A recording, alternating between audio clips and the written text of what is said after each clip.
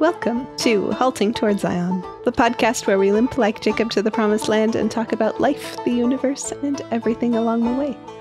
I'm Emily Maxon here with Greg Uttinger and Rachel Wojtek, and today we are talking more about the study of history from a Christian perspective. What are the uh, framing ideas to the way we look at history?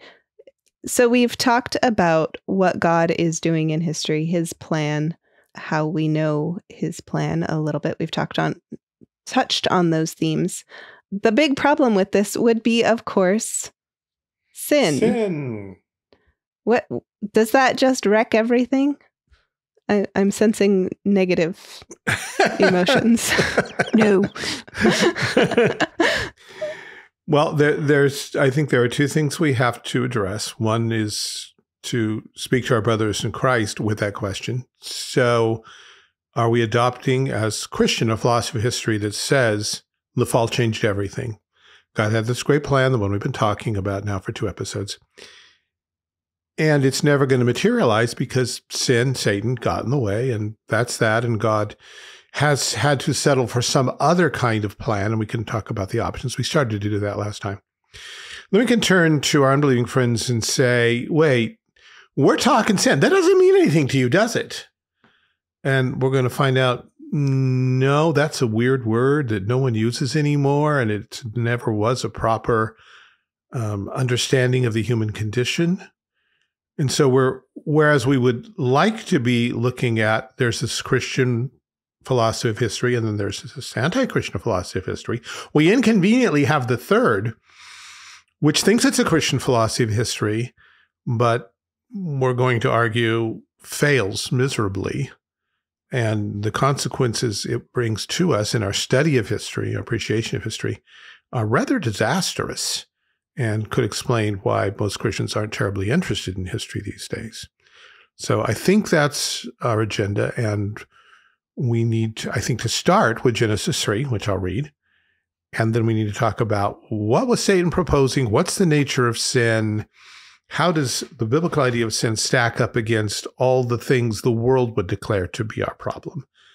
And then what happened afterwards? And some of that may have to wait till next time we talk about the promise of redemption. This is Genesis 3. Now the serpent was more subtle than any beast of the field which the Lord God had made.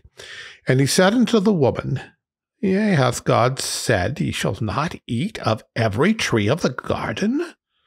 And the woman said to the serpent, We may eat of the fruit of the trees of the garden, but of the fruit of the tree which is in the midst of the garden, God had said, You shall not eat of it, neither shall ye touch it, lest ye die.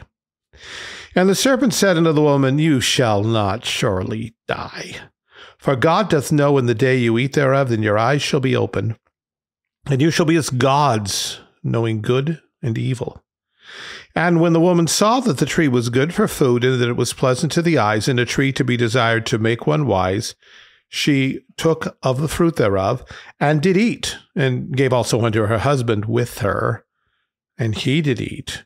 And the eyes of them both were opened, and they knew that they were naked. And they sewed fig leaves together and made themselves aprons. And they heard the voice of the Lord God walking in the garden in the cool of the day. And Adam and his wife hid themselves from the presence of the Lord God among the trees of the garden. And the Lord God called unto Adam and said unto him, Where art thou? And he said, I heard thy voice in the garden, and I was afraid because I was naked, and I hid myself. And he said, Who told thee that thou wast naked?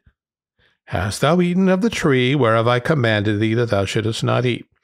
And the man said, The woman whom Thou gavest to be with me. She gave me of the tree, and I did eat. And the Lord God said to the woman, What is this that thou hast done? And the woman said, The serpent beguiled me, and I did eat. Well, as Christians, we believe this is history, not mythology. Uh, there was a real flesh and blood woman who stood before a real tree and talked to a real serpent, that in some sense is possessed by or identified with or in some other form Satan, fallen angel, that this took place in time and space about 6,000 years ago.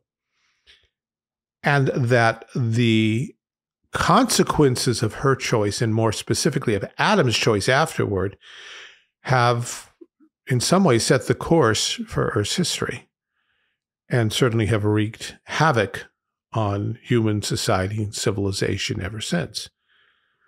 There's this thing we call sin. God said, Don't do this. The serpent said, Why not? Nothing really bad will happen. In fact, something tremendously good will happen. Um, but he said, but he implied, Don't take my word for it. Go ahead and find out. Which is to say, break God's commandment and see if anything happens. it's true empirical science, I suppose, but not very intelligent or certainly not very wise empirical science. Because what, what Satan is saying here is uh, Yahweh is telling you one thing. I'm telling you something else. I don't claim to be the creator. He does, but obviously, since he can't, I'm telling you, he can't follow through with this, right? He's not a creator. He he exists. He's something, and and and perhaps powerful and perhaps dangerous, like a playground bully. But this tree is what it is, and you, in your autonomy, should investigate it, find out about it, because I'm telling you, there's magic going on here. There's power. There's transformation you do this thing and you will. And he doesn't specify all that he means, but at the very least, you will be as gods deciding good and evil for yourself. You'll be free of Yahweh's control, lordship, um, sovereignty, suzerainty, and you'll be in charge of your lives and probably the lives of lots of other people. And wouldn't that be great? That's sin. It's a promise to say if you sin, things will good things will happen. Break God's law. And and it's important to to remember that this wasn't there there was no lack of clarity. Mm-hmm. Eve is the one who repeats back the commandment. You know, sometimes kids get away, at least in school, with, well, I didn't understand. Okay, explain. Here's the order. Everyone repeat it back now. We do that as teachers sometimes. she repeats it back. She adds to it. She makes it even more difficult than God actually did. God did not say, don't touch it, but she adds that on. Mm-hmm. She is adding already, she's already adding to God's word. And then she's left with a choice. And, and Satan's argument is this, this tree is a fact in itself, a brute fact. Uh, it, it awaits your apprehension. You you will find in it something of value because it's just there. God found it. He's trying to keep it from you. I've been there. I've seen it. I know what it can do. But you know, why trust either of us? Find out for mm-hmm. yourself. Take nothing by faith. Check it out on your own. I'm sure the consequences won't be bad. Can I add in one more thing? Please add in all kinds of things at this point. I think I'm done. With reference to Eve adding to the commandment, she's adding to the commandment in such a way as to negate the commandment itself, the the opposite commandment. They they were supposed to be dressing and keeping the garden. Mm. You can't be caring for a tree if you're not going to touch it. oh, oh, you go to the head of the class. I have completely missed that. That's great. Yeah, mm. you're absolutely right. I, I pointed that out this out once, not what you said, but the, the general she's added to the commandment and condemned her for it. And one gentleman who's been in the church forever sent me an email saying, I think you're being too harsh. I think all she was doing was just being safe. You know, like let's let's not even get near it. And I wrote back and said, You mean like when people say let's not touch alcohol because it might make you drunk? There's a word for that. It's called Pharisaism. It's the sin that crucified Christ. Yes, we may not add to the word, we may not take away from the word. The word is itself. And when we try to defend against Satan's attacks with our own word, we find out more or less what he found out. It doesn't work. It's self contradictory. We find we have no foundation and we lay ourselves open to to the temptation and and to the the sinful response that arises in our heart. Some people have been um, surprised at this. You mean you mean she was sinning before she ate? Well, of course. You think her hand just went up there, randomly stuffed it in her mouth, and suddenly she realized, wow, I sinned. How'd that happen? She obviously, at some point, chose to reach for the tree, which means at some point, before she reached for the, the, the fruit, she'd already alienated her heart from God. Now we're just getting a clear idea of when. Mm-hmm. When, when Satan approached her, rather than stand on every word of God simply because it was the word of God, she had to put her two cents in. She had to play the Pharisee and add to God's law. By the way, this makes Satanism, because this is Satan's worldview, and the Phariseeism we meet in the New Testament uh, more or less the same thing. You know, by the time we get to the New Testament, we're thinking, oh, these, these people are not Satanists. They're very upright religionists. And their religion is Satanism. It's the same thing. Sin proceeds from the heart, and at some point, Yeah, the heart crosses the line. religion led them to crucify Yeah. God in the flesh. it should tell us something about the religion of the Pharisees. Yeah, and they're Um, working and with. this fits with James too, where he Yeah. outlines the the life cycle of sin, if you will. Mhm. that it's it doesn't begin with the fulfilled act. It's desires conceived, brought forth, Mhm. brought to fullness is sin. And that's where it's also important to realize that the tree itself had nothing for her to use to make her decision. Um, there was nothing. Sometimes, like when we get to the um, the ceremonial laws, people say, "Oh, well, God chose that diet because it's healthier for people," and Mm. they Mm. try to say God did these things because he knows the physical creation and knows that this, you know, will be better for us. There was nothing healthy or unhealthy in the tree. It was Mhm. solely a test of trusting the word of God, not can you correctly use your environment? Um, can you have the perfect diet of this fruit or that fruit? That it was it was nothing to do with that. And so as soon as she turns to the physical, she's already lost.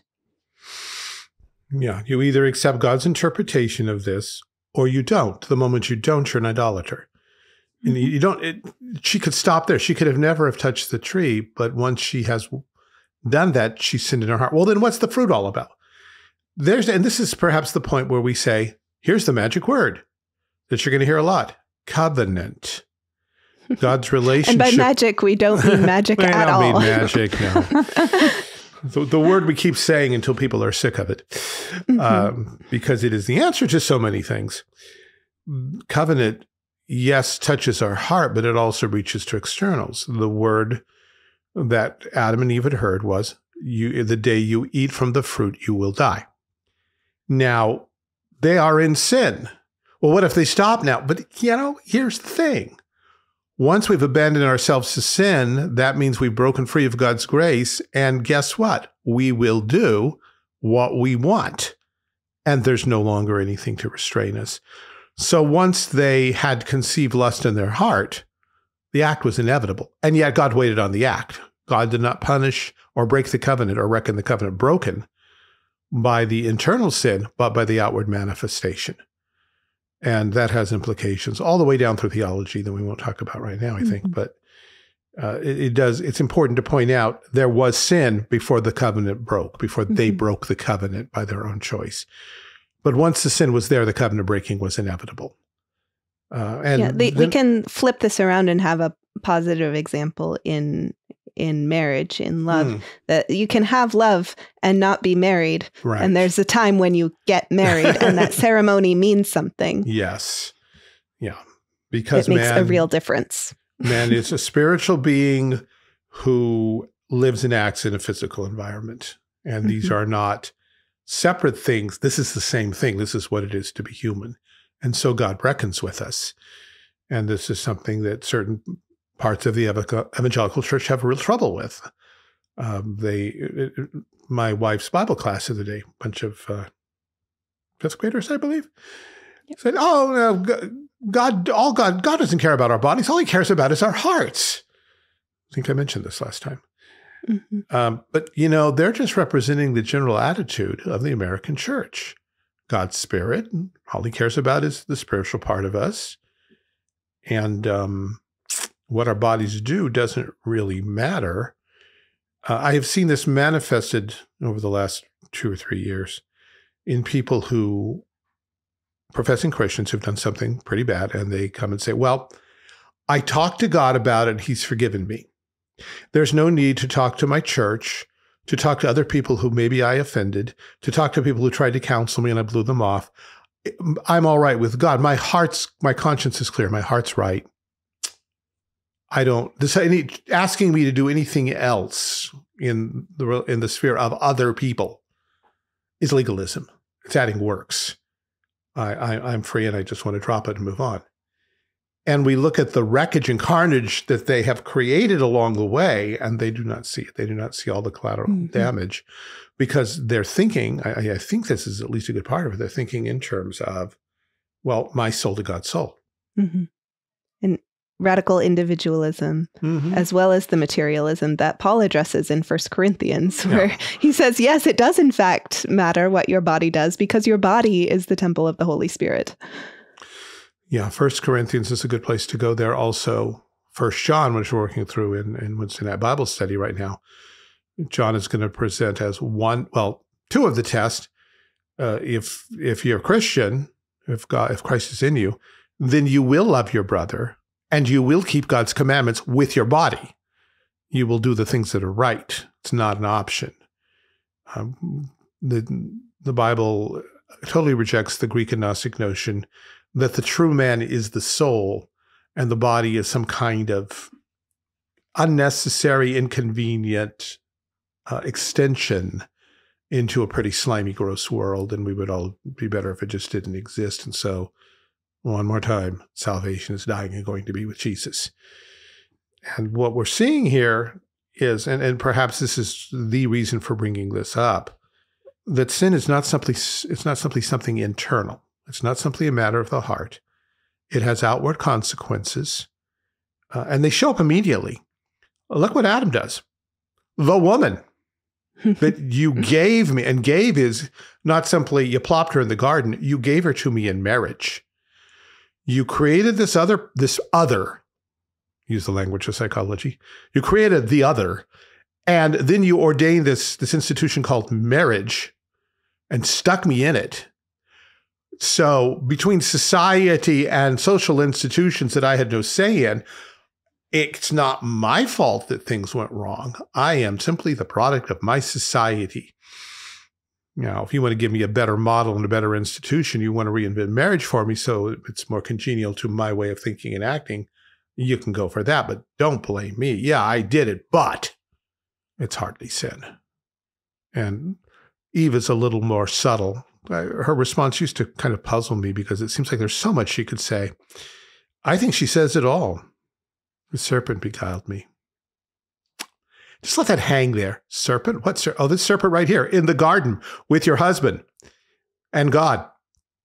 And they apparently did nothing about it. Well, shh, I am obviously the victim here.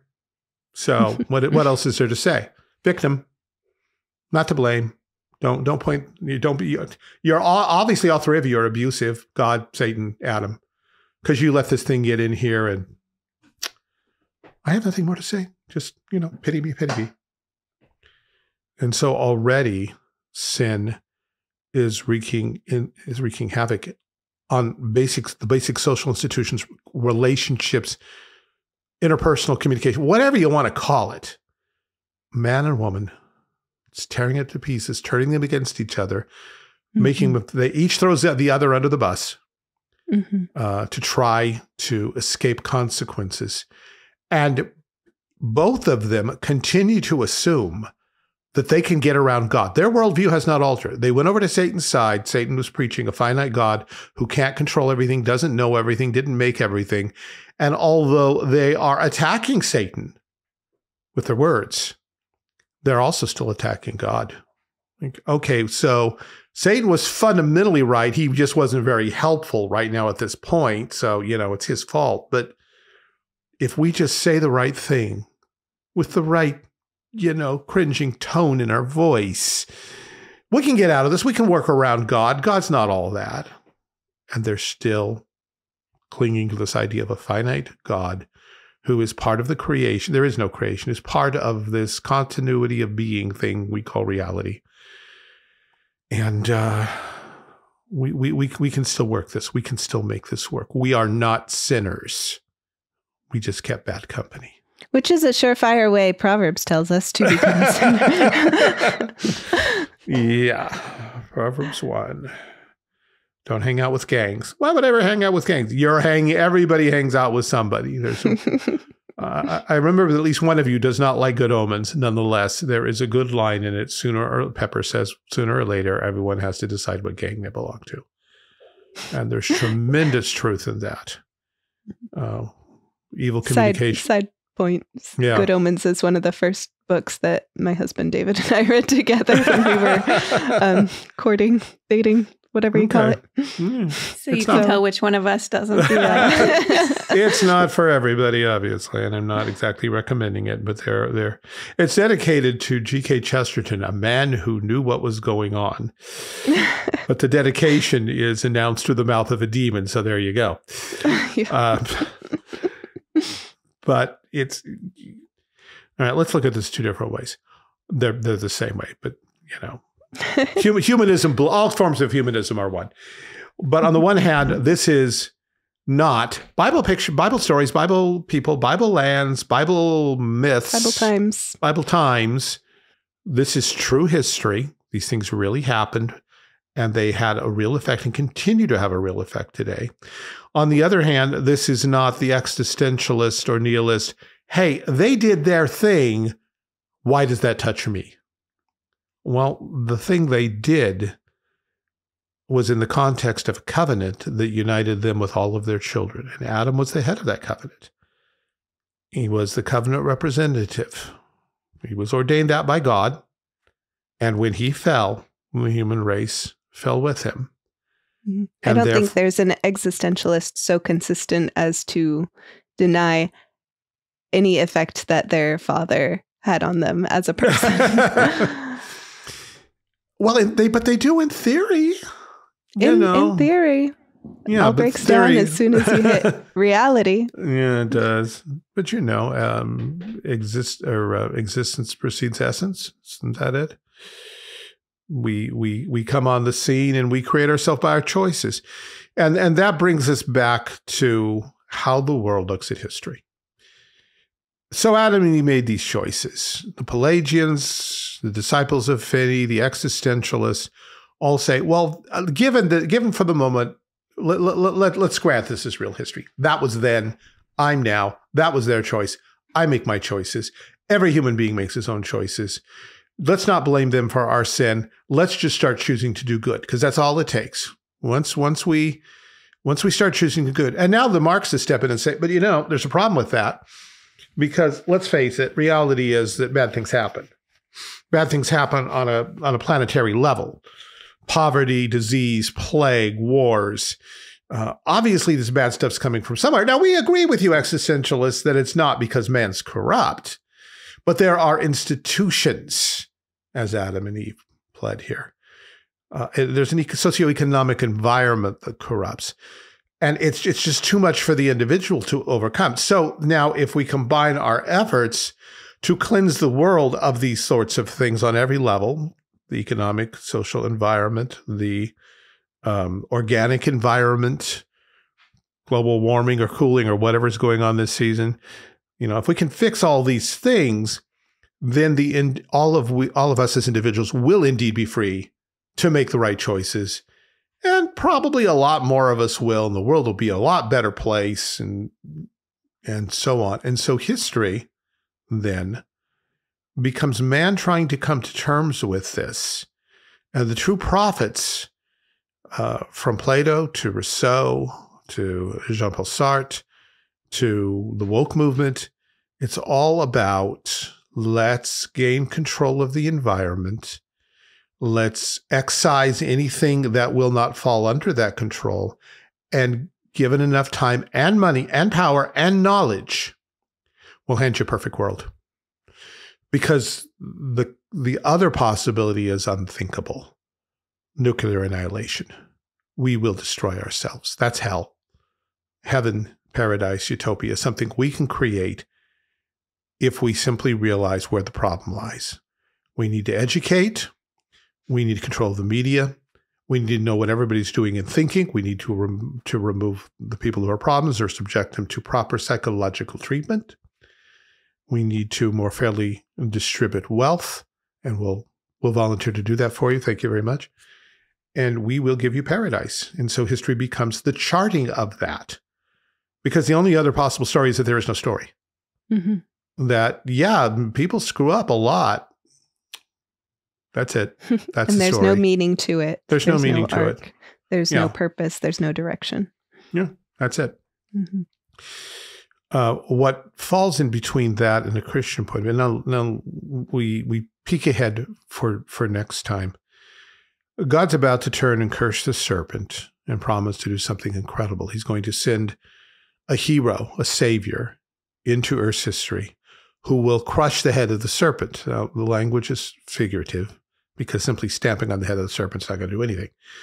But the the implication is he's going to break the power that this this moment has had over history. He's going to undo the work of the fall. He's going to turn back Satan's works upon himself, destroy the works of the devil, as John says. And actually, the writer of Hebrews. And um, the, the the question then becomes: All right, Christian brothers and sisters, what does that mean? Because here are two possibilities. You you can create others, but these are these are two broad things. One, God still has in mind the same goal he always had because it was great and good and pleasing to him, which is why he came up with it in the first place. And he's not going to be defeated by a stupid snake. Or, I mean, that's what it comes down to. What kind of God do we have? Yeah, the snake got God. Oh, that's just really exciting and convincing. Mm-hmm. Wonderful God you got there. Um, But that is what Satan thought of God. yeah, well, sure. he thought that he as a as a snake was sufficient to take down the God of the universe. Yep. hmm Because at some level, he does believe his own propaganda. At another level, he no doubt doesn't, but he, he's good at convincing himself and his followers that God's not all that. Yeah, Snake can do it. Just a little, a few lies can bring down empires, right? That's all you need. But there's another answer, another way of it looking at history that can give lip service to to God and and and yet not hold up his glory the way the Bible does. And that's to say, yeah, Satan really did screw things up. Sin is too powerful, it's too deeply rooted in the human heart.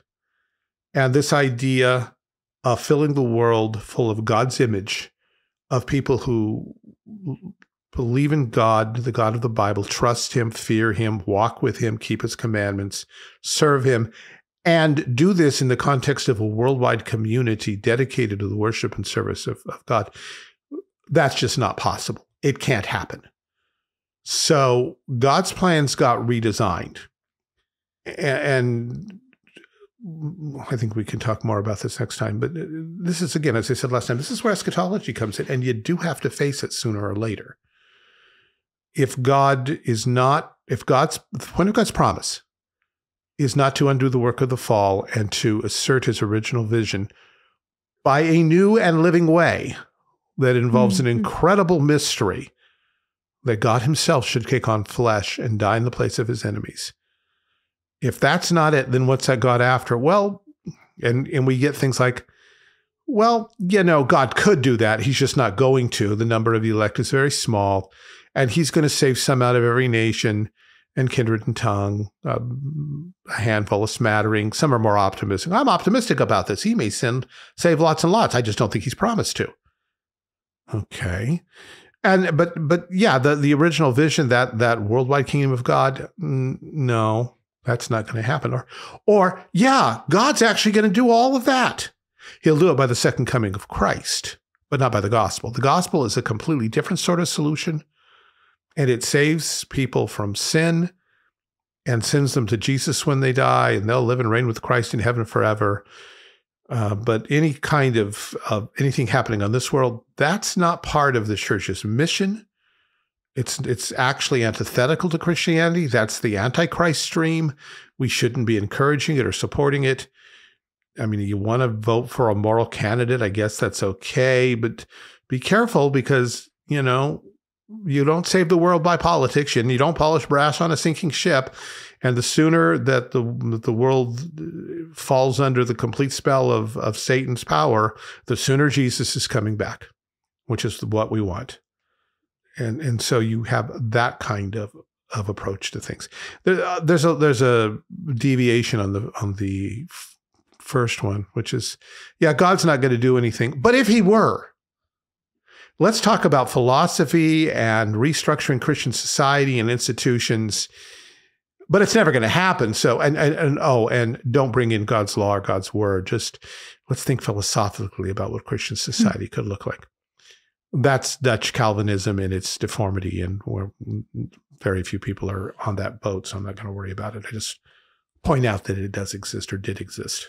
It's very interesting listening to you talk because when we talk about Satan and Adam and Eve, one of their chief one of the chief aspects of their sin is to minimize God, mm. his hmm. power, his dominion, but then we see it coming into the church where we minimize God's intent. We minimize what God cares about, um, what he plans to save, what the effect of Jesus' salvation is, the number of people that Jesus is going to save. We we tend to come from ourselves to God instead of from God to ourselves so that we're small and finite yeah. and we see things in salvation as small and finite and not the immensity and eternity of God um, that he then puts into the salvation plan.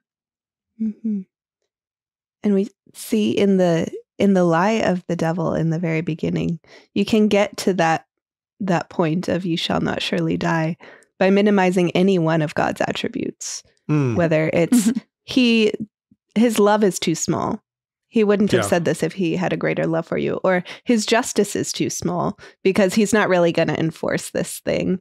Um, you can get there so many different angles, but they all just diminish God and give us a false idea of who he is and how great he is and how different he is from us. And often we see that when people say, well, you know, if I was God or my God wouldn't, I would never. Again, you're starting from yourself, which is sin at its heart is selfish and a worshiper of self, which always makes God or even ourself when we're God very small. Um, when we see autonomy in man, it's still a very small autonomy that ends up leaving them feeling uh, depressed because we really can't atone for mm-hmm. ourselves or achieve. Like, congratulations, you've got all the power that you could possibly hold, and it's this little bitty amount. yeah. Itty bitty, what is it? Living space? Living space, yeah. yeah.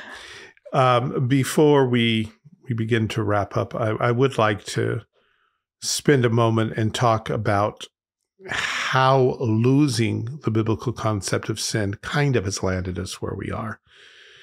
Because, you know, the church doesn't teach sin anymore. Um, it is very rare that you find a church that will actually say, hey, this thing, it's called sin. It's breaking mm-hmm. God's law, it's rebellion against God. It, it not only breaks God's heart, he's angry not simply with the sin, but with the sinner. And he punishes such people in hell forever. And we're told, you can't tell people that.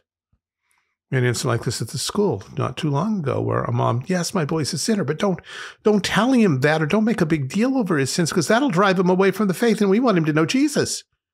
Okay, we have so many misunderstandings going on there. Here are Adam and Eve in paradise and they have broken God's law. Shall God not tell them they're sinners? Shall he just walk by whistling, waving, and walk on his way and leave them to themselves? Is that what we want? Shall we want a Jesus who comes in our midst and says, you know, I love you, and you know, there, there's there's something wrong here, but I'm not gonna I don't want to make you feel bad. so um, just this is not a recipe for conflict resolution and peace in no. any relationship. well, we try to make it such in every relationship. Mm-hmm. Just love the person, and and that'll fix everything. Uh, and, and man's problem is not that he's a sinner, not that he's a rebel. He's what are the words? He's broken. He's lonely. Uh, he's friendless He's um, alienated, Sick. Pick a word. Mhm. What else have Mhm. you heard? What what else have you heard presented as man's chief need right now, the 21st century? Mostly I hear broken, sometimes Broken? sick. Yeah. Yeah. Mm.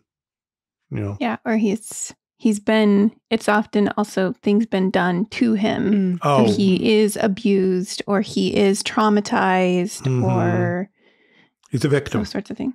Yes, victim is very much the victim is huge. somebody else has done things to him and that's his problem. It's not in him, it's outside of him. And the the problem, one of the many many problems with this, is that it admits no solution. Mhm. You you Mhm. can't undo some of these things, and some of them are far beyond fixing. And you know what? Even if okay, you're poor, we give you a million dollars. You know how well that works? It doesn't. Back in the I don't know fifties or sixties, when um, this kind of thinking was was fresh and people were excited about the war on poverty, someone decided to build a whole bunch of condos for poor people so that they would have nice places to live with the idea if we give them a nice place to live they will rise to that expectation and and and it will work transformation. Well within a few months the whole the whole facility was trashed abused destroyed because the problem wasn't the environment. The problem was that people were unthankful ungrateful lazy violent by nature and didn't want to work and didn't want to maintain a good environment. And so they destroyed the whole thing. People sat back and scratched their head.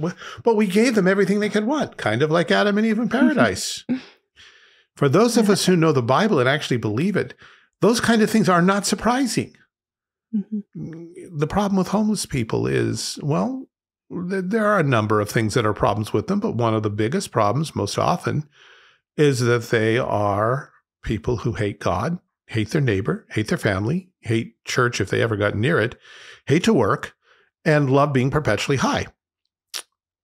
The, the only thing that can break that is the power of the gospel. And, and until you confront them with this is not a poor you issue. This is a moral issue. You're a sinner in rebellion against God. You're not the worst of sinners. There's all kinds of people who do this and worse. But it doesn't free you. You are a sinner and you need to repent of your sins and you need to throw yourselves on the mercy of God in Christ. And God can fix this. He can fix you. You have to want to be fixed at a fundamental And heart level. And it's not that all of the the bad things that happen to people are not problems. No. It's just that the essence of the truth is that their relationship with God is the biggest problem. And that's an Mhm. act of faith to acknowledge that that it's trusting God to believe that what is most core to who we are is our relationship to God. Everything else is secondary, no matter how crazy, huge, hurtful hmm it is. And it truly is. Yes, there are it's there are horrible, despicable things that we do to one another and that we do to ourselves. Mhm. And yet the question is, well, why did that happen? Was it a fluke? Was it a cosmic accident? Or did people do these things because they hate God? because they also hate God. Yes. Because they also hate God. Yeah. And and what's the way out of this? Well, I need to stop hating God. I need to start loving him. And they and then maybe I can go to them and tell them the same thing, or maybe somebody else will do it. But that's that this is not just a, a, a question of moral philosophy of check box, love God, hey God. This is a question of throwing yourself in true repentance on the mercy of God saying, I'm a sinner. I've rebelled against you. I pretended it was something else and it's not. I just hate you. And I would like that to change. I would like to be forgiven. I would like to be a new person. And the the encouragement we have is that if you're doing that, God's already at work in you because the the, the Mhm. flesh never does that. Uh, the man, as he comes from Adam, does not make those admissions. Admissions does not claim that mercy, does not turn to God for help in any real sense. He may say words, um, but he does not humble himself and, and open his heart and admit, I'm a sinner and I deserve hell. And God's the only one that can get me out of this. So, does God have promises for me? At which point we turn and say, He absolutely He has promises for you. Mhm. And the fact that you're asking is good news. It probably means He's at work in you right now.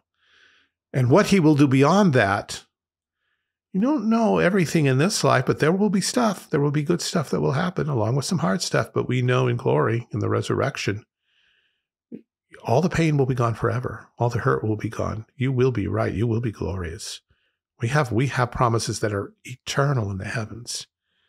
But it starts with admitting that what the Bible says about sin is real. And until we say that, we have no good news. We have nice news. Mm-hmm. Mm-hmm. And nice news doesn't save anybody. So with And this, on that note, on that note, with this laid out before us, we're ready for the next week where we'll start talking about the nature of redemption a little more thoroughly. lovely. We can look forward to that. All right, let's close off with some recommendations. Well, I can go because I have one. It's a smaller request than in the past, but as I was thinking about this topic and preparing for it and our need to understand the depth of sin, um, I was reminded of the hymn Stricken, Smitten, and Afflicted. Hmm. And I Mm. particularly love Fernando Ortega's version of it because it captures the emotion of it. But the third verse says, uh, You who think of sin but lightly, Hmm. um, nor suppose the evil great, here may view its nature rightly, and its guilt may estimate. Mark the sacrifice appointed, see who bears the awful load. And it was reminding me that we will diminish Christ and his glory in his sacrifice if we diminish sin. Um, and so it's it's a beautiful reminder of just how much Christ chose to suffer, but that he needed to suffer because of us. So there's my my Mhm. recommendation for today. I'm going to choose a related recommendation, which is a poem by George Herbert, Love 3. Uh, another aspect of the same truth. Okay, this is um, this is my recommendation. I'm actually going to read it because it's a little hard to find online. I found out that, in fact, do you two ladies remember the poem Invictus? I think it came up. Out of the night yeah. that covers me, black as a pole from pole to pole. I think whatever gods Mhm. may be for my unconquerable soul. It Mhm. ends with, It matters not how straight the gate, how charged with punishments the scroll. I am the master of my fate. I'm the captain of my soul. Ooh. Uh, Dorothea Dix wrote a, um, or Dorothea Day, I'm sorry, uh, wrote a response, and I'm going to read it. Out of the light that dazzles me, bright as the sun from pole to pole, I thank the God I know to be for Christ, the conqueror of my soul. Since his the sway of circumstance, I would not wince or cry aloud under the rule which men call chance. My head with joy is humbly bowed. Beyond this place of sin and tears, that life with him, and his the A that, spite the menace of the years, keeps and will keep me unafraid. I have no fear, though straight the gate.